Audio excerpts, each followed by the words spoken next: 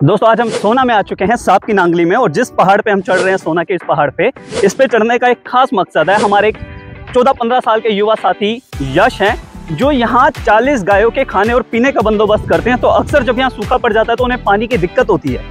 उसी पानी की दिक्कत को सुलझाने के लिए यश की मदद के लिए आज सेव अरावली की टीम यहाँ आई है, जो एक जोहड़ विकसित करना चाहती है यहाँ, ताकि उन 40 गायों के अलावा जो अलग जीव जंतु हैं, उनके खाने पीने की व्यवस्था भी सुनिश्चित की जा सके सुनहरे वन में। तो आइए दोस्त, देखते हैं वो लोकेशन क्या है। ये कलौजा का पेड़ है तो इसमें काफ़ी अच्छे फल आते हैं। ये भी खाने के यूज़ में लिए जाते हैं और चटनी वगैरह जो अपना देसी टाइप में साग बनता है, उसके लिए भी यूज़ किए जाते हैं। अभी तो फ़िलहाल इसमें छोटा फल है, लेकिन बड़ा होने के बाद थोड़ा ठीक साइज़ हो जाता है। इनका कलौजा का पेड़ बोला जाता है तो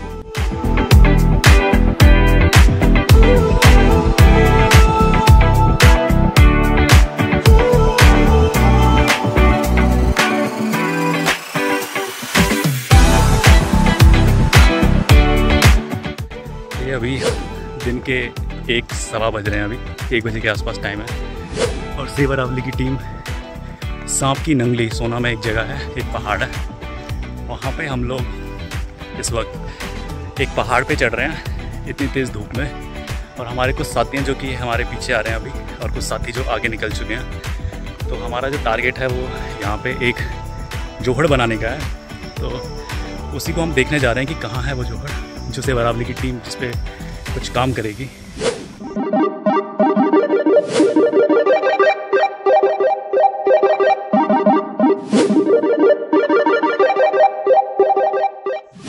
का पेड़ है। तो इसमें जैसे कोई ग्वालिया नीचे से कुछ खा पी कर कम भी आए तो इसका फल खा सकता है। वो खाने की पूर्ति करता है। इतना अच्छा फल लगता है मीठा और खारापन रहता है। ये टोट लगता देसी टाइप में जो देसी कीकर रहती थी ना अपनी पहले तो ये उसी टाइप में। हाँ। और ये पीछे? पीछे भी वही है। वो खैरी का है उससे पीछे। ये हमारे फॉरेस्ट में है? हाँ, ये तो होगा। है। बड़े पत्तों का पेड़ बड़े पत्तों का भी लगभग ढाई तीन किलोमीटर चलने के बाद में फाइनली हम लोग पहुँच गए हैं जोहड़ ये जो पीछे हम देख रहे हैं ये है वो जोहड़ जिसमें अभी भी काफ़ी सारा पानी बचा हुआ है। तो सेवरावली टीम का जो उद्देश्य रहेगा वो ये रहेगा कि ये पानी ज़्यादा से ज़्यादा हम लोग यहाँ पे इस जोहड़ में स्टोर कर सकें, ताकि जो यहाँ के जीव जंतु हैं, पक्षी हैं, जानवर हैं, वो इस पानी को फिर जो अभी जून की गर्मी है, जुलाई की गर्मी है, फिर इस पानी को वो अपने यूज़ कर सकें। और जो एक अरावली का इकोसिस्टम है वो पूरी तरीके से यहाँ पे सेवरावली ट्रस्ट जो जल, जीवन, जंगल और जोहड़ पे काम करती है, आज उसी कड़ी में हम आप हो चुके हैं इस जोहड़ के पास, जिसको विकसित किया जा रहा है। विकसित किए जाने की क्या वजह हो सकती है? और गाँव के लिए या जंगल के लिए जोहड़ क्यों ज़रूरी है? ये एक गाँव के ही इंसान से जानते हैं कि उनके लिए इस जोहड़ की इंपॉर्टेंस क्या है। और इस इकोसिस्टम में इस जंगल के अंदर जोहड़ क्या क्या काम कर सकते हैं? तो यश भाई और उनके पिताजी से जानते हैं कि जो पीछे जोहड़ बना हुआ है, इसको गहरा करने का क्या मकसद है? और क्यों ये जोहड़ यहाँ के वन्य जीवन के लिए ज़रूरी है? यश। जैसे इसमें गाय और पक्षी वक्षी पानी पी लेते हैं इसलिए अब इसमें पानी ख़त्म हो जाएगा कुछ दिनों के बाद।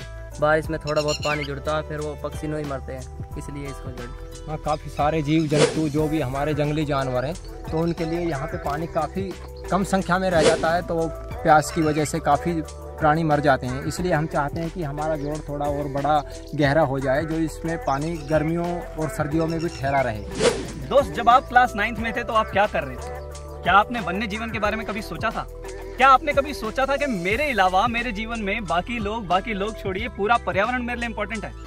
मेरे साथ एक शख्स हैं आज यश जो सोना गाँव के सांप की नंगली विलेज से हैं और इन्होंने यहाँ पर पूरे वन्य जीवन का कारोबार अपने कंधों पर उठा रखा है। और यश कुछ बताएँ यार मैंने सुना था आप कुछ यहाँ पर ऊपर आके कंचे वगैरह खेलते हैं लट्टू चलाते हैं क्या करते हैं? बस गायों पे रहते हैं यहाँ पर। हम गायों पे रहते हैं तो गायों के साथ क्या करते हैं आप? गायों को चराते हैं यहाँ पर घास वास में और वैसे ही। गायों को घास में चराते हैं तो कितनी गाय हैं आपके पास?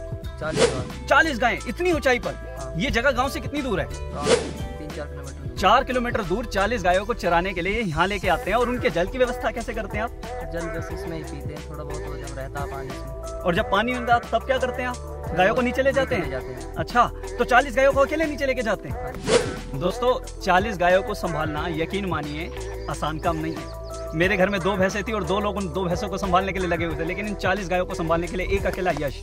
और यश, ये आपके अंदर प्रेरणा कहाँ से आई कि आपको जंगल में जाके रहना है? और जंगल में रहते हुए तीन चार दिन, रहते हुए तीन चार दिन बाद अपने घर जाना है, और उन्हीं, उसी टाइम पीरियड में जब आप जंगल के अंदर हो तो आपको गायों की सेवा करनी है। तो ये चालीस गायों का जिम्मा आपने क्यों सोचा कि आपको लेना चाहिए? ऐसी क्या चीज़ थी जिसने आपको प्रोत्साहित किया कि गायों की चलो सेवा की जाए? बस वैसे ही शौक था मुझे गाय वाय को इसलिए ले ली थी हमने। और आपके बारे में ये बात सुनिए कि आप तीन से चार दिन तक ऊपर जंगलों में रहते हैं उसके बाद नीचे घर जाते हैं। हाँ क्या ये बात सच है? तो चार दिन तक आप यहाँ खाते पीते क्या है? आपको यहाँ क्या खाने पीने को मिलता है? दूध पी लेते गाय को और घर से रोटी आ जाती है। अरे वाह घर से रोटी आ जाती है और गायों का दूध पी लेते हैं। हाँ। उसके अलावा? तो आपको बेड वगैरह नहीं चाहिए होता कोई एसी कूलर शाम को यहाँ चल जाए जिसमें आप सो सके आराम से नींद कर सके? कुछ नहीं। तेंदुए वगैरह डिस्टर्ब नहीं करते? आपको सांप कभी आ जाए काट लिया हो बिच्छू ने काट लिया हो? कुछ कुछ नहीं। क्यों? आते ही नहीं जंगल में नहीं है या आते ही नहीं है? जंगल में तो है आते नहीं है। आते क्यों नहीं आपके पास? डरते हैं आपसे? आँच बढ़ा देते हैं गायों के पास उससे वो आते नहीं है। अच्छा गायों के पास आँच बढ़ा दी जाती है और उससे वो आते हैं। तो दोस्तों ये एक मिथ है ये एक भ्रम है ये एक भ्रांति है। कि जब हम जंगल के अंदर होते हैं तो हमें अकेले नहीं जाना चाहिए, वहाँ पे तेंदुए शिकार कर लेंगे या कुछ और। हाल ही में हम एक स्कूल को लेके आए थे और वहाँ के टीचर्स बड़ा घबरा रहे थे, बच्चे बड़ा घबरा रहे थे कि हम अंदर जाएँ या ना जाएँ। यश से देखिए, यश से सीखिए कि अकेले जंगल में रहते हैं और ना तेंदुए का भय, ना सांप का भय, ना किसी का भय। बस निडर होकर गायों की सेवा करने के लिए पहाड़ पे खड़े हैं, अपने पर्यावरण को बचाने के लिए खड़े हैं और अपनी धरती माँ की सेवा के लिए खड़े हैं। तो सीख लीजिए, इनसे सीख लेके आगे बढ़िए। धन्यवाद। से वरावली से काफ़ी सालों से जुड़े हुए अभी तक हमने सोलह जोड़ बना चुके हैं। और एक और नया जोड़ बनाने के लिए हम यहाँ पे आए हैं।